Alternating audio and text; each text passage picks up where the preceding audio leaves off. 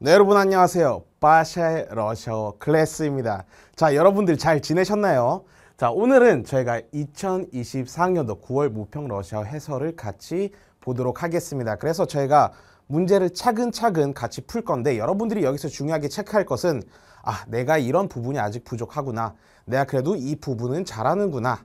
라는 그런 확실한 뚜렷한 인식이 필요합니다. 그래서 이제 시간이 얼마 안 남았죠. 시간이 얼마 안 남았기 때문에 여러분들이 시간 관리를 또 얼마나 잘하느냐 그것도 중요합니다. 그래서 시간 관리를 잘 하시는 분들은 정주행을 하셔가지고 다 채우시면 되는데 근데 그걸 못 하시는 학생분들은 어떻게 해야 되냐 이제 선택과 집중이 필요합니다. 너무 어려운 문제는 우리가 버리면 되고 과감하게 버리시고 어쩔 수 없어요. 지금 시간이 없으니까 그렇죠? 애매하게 다 할 바에는 확실하게 쉬운 문제는 먹겠다 라는 그런 느낌으로 가주시면 될 것 같습니다.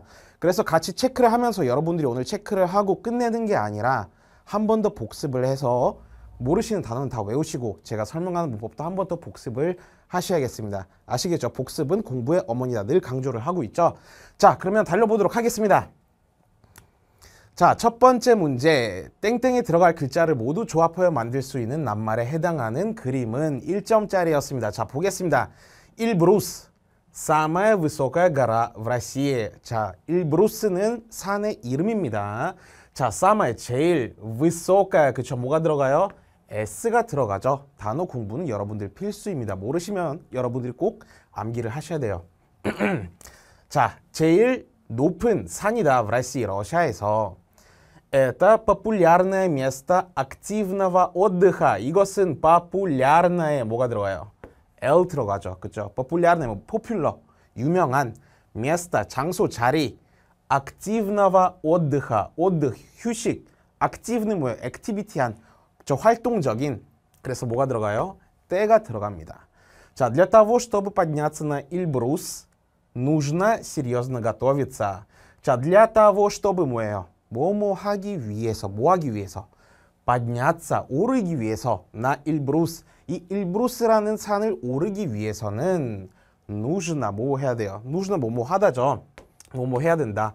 우가 들어갑니다.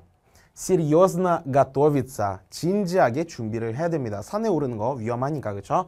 자 그러면 조합해서 만들 수 있는 낱말이 뭘까요? SLTU 그렇죠? стул, стул 뭐예요? 의자잖아요. 그렇죠? 그래서 답은 1번이 되겠습니다. 자, 2번 뭐예요? лыжи, 스키, 그렇죠? 3번 рыба, 생선. 4번 стол, 4번 찍으시는 분들 없었겠죠. 그렇죠? стул, стол, 오가 들어가냐, 우가 들어가냐 차이입니다. 그래서 단어는 잘 외워 주셔야 되고 자, 5번에는 очки, 안경, 그렇죠?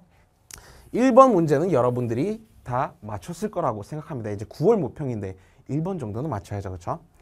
자, 그 다음에 2번 밑줄 친 부분의 발음이 나머지 넷과 다른 것은 항상 이 발음 문제가 또 단골로 나옵니다. 자, 1번 볼게요. 자, 우미냐 발릿 숲 보니까 뭐가 나왔습니까? 자음이 나왔어요. 그렇죠? 자, 이 자음은 여기서 항상 늘 물어보는 게 뭐였어요? 유성자음, 무성자음.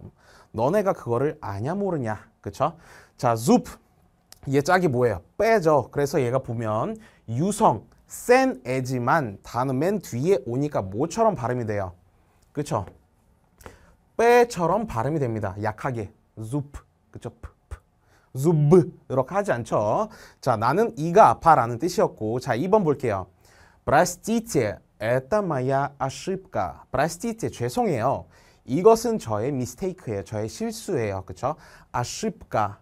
자 볼게요. 매가 있습니다. 그렇죠? 얘는 세네요. 유성 자음. 근데 뒤에 뭐가 있어요? 이 자음 두 개가 부딪힐 때 항상 주의해서 보라고 했습니다.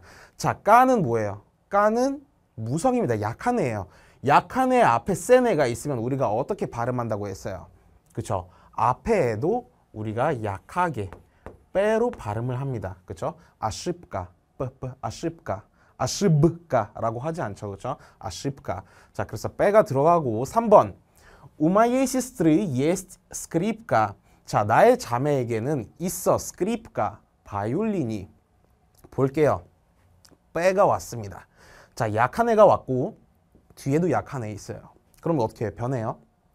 안 변하죠. 그대로 약한 애는 빼로 발음이 됩니다. 그렇죠? У моей сестры есть скрипка. 뒤에도 약하니까 바뀌지 않습니다. 자, 4번. Мама приготовила овощной суп. 마마 엄마가 приготовила 요리를 했습니다. овощной 야채가 들어간 суп 수프를 자 약한 애가 맨 뒤에 왔어요. 그럼 그렇다고 세게 변해요? 안 변하죠. 그대로 약하게 들립니다. 빼 그쵸 суп 자 그 다음에 5번 Мальчики любят играть в футбол 자 남자아이들은 любят 좋아합니다. играть 플레이 в 풋볼 뭐예요? 축구죠, 그렇죠? 풋볼. 자, 여기서 볼게요. 때가 있고 매가 있습니다, 그렇죠? 두 자음이 부딪혔어요. 근데 어쨌든 뒤에 있는 자음을 표시를 해줬어요. 자, 얘는 유성 자음이죠, 센 애예요. 자, 근데 얘는 뒤에 왔으니까 센애 그대로 남고 앞에 있는 이 무성 자음 때 약한 애가 오히려 세게 발음이 되죠. 그래서 때는 네로 발음이 되지만 뒤에 있는 매는 그대로 매로 발음이 되죠. 풋볼. 그렇죠? 헷갈리면 안 돼요. 그래서 얘는 매 유성자음 세네로 발음이 됩니다. 자, 그러면 답은 나왔죠. 답은 5번이 되겠습니다. 자, 이런 발음 문제는 여러분들이 조금만 공부를 하면 충분히 맞출 수가 있으니까 꼭 잘 짚고 넘어가시길 바라겠습니다.